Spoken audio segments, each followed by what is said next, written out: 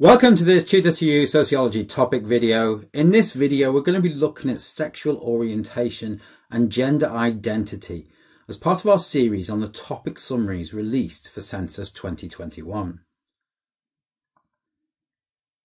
The findings of Census 2021 are being released in regular topic summaries, starting with the first topic summaries which released in November 2022.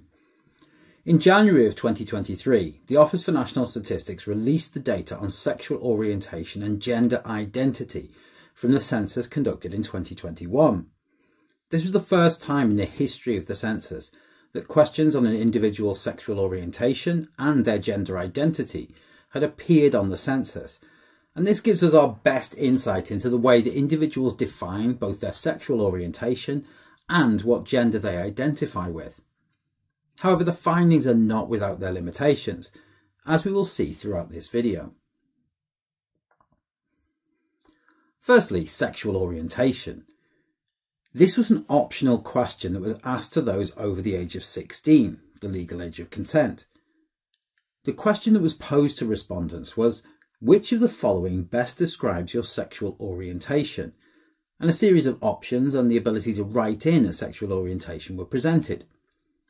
92.5% of the population answered this question, which, whilst it's a good response rate, doesn't account for the reasons why people may have chosen not to identify their sexual orientation.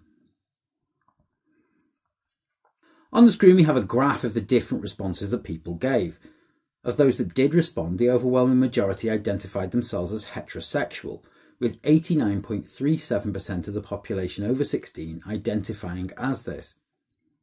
With just under 7.5% of the population not answering the question, it leaves just over 3% of the population who identified as having a sexual orientation that was not heterosexual. Breaking this down, just 1.5% of the population identified as either gay or lesbian, with a further 1.28% identifying as bisexual. Other sexual orientations included pansexual at 0.23%, asexual 0.06%, and queer as 0.03%. All other sexual orientations were recorded as 0.02% of the population of England and Wales over the age of 16.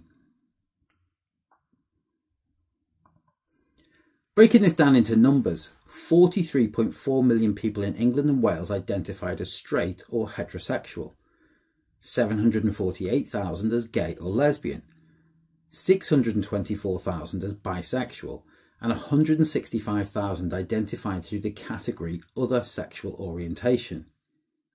But are those figures accurate? When considering there is usually one person in the household who completes the census for all who live there, could this impact on the validity of results? Data from the census also reported on the sexual orientation based upon their different geographical locations, and perhaps unsurprisingly, metropolitan areas reported higher levels of those with an LGB plus orientation, that is, those not identifying as straight or heterosexual. London topped the list with 4.3% of the population, whilst the North East, North West, and East of England all reported higher levels of heterosexuality than other areas in the country.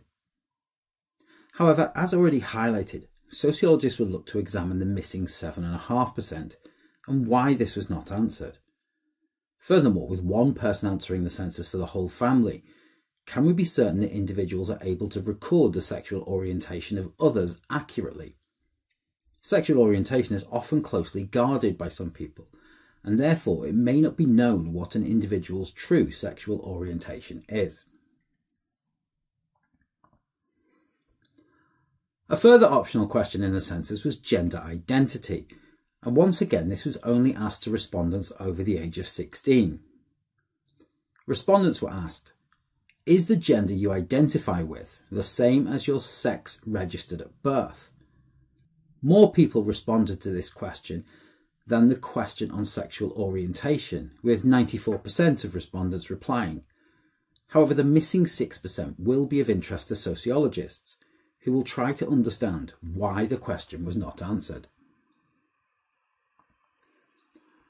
Of those that did respond, overwhelmingly people answered yes, their gender was the same as that registered at birth.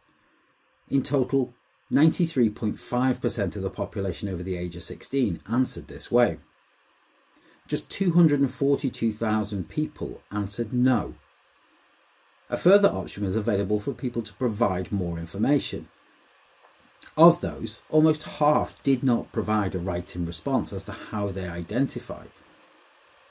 48,000 responded as a trans man, while the same number identified as trans female. A further 30,000 identified as non binary, and 18,000 wrote in a different gender identity to those already mentioned. And we can see this summarised in the table on the screen taken from the Office for National Statistics. The overwhelming majority identify as the same gender that they were registered with at birth. However, we need to question why almost 6% of the population did not respond. Again, if one person completes the census for the family, does this impact on the validity of the responses? Furthermore, how might those questioning their gender identity respond to the question? As this is the first measurement on gender identity in the census's history, it will be interesting to compare these results with those found in 2031.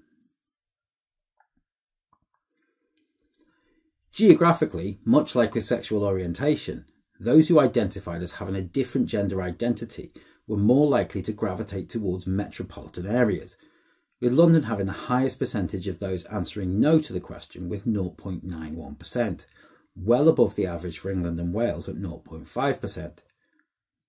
London also had the highest percentage of those not answering the question, with almost 8% of people choosing not to.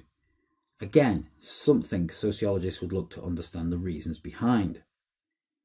The lowest region with negative responses was the southwest, with just 0.42% identifying as having a different gender identity than they were given at birth. That concludes this tutor2u Sociology topic video looking at the topic summary on sexual orientation and gender identity as part of our series on the Census 2021. Thanks for watching.